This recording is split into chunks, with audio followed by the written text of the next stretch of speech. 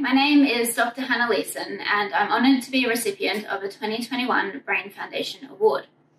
One of the most common causes of drug resistant epilepsy is cortical dysplasia, where the outer layers of the brain are malformed during development. I will be using stem cells from patients with cortical dysplasia to generate 3D brain models to greater understand the causes of cortical dysplasia, as well as to test approved therapeutics to find treatments for patients.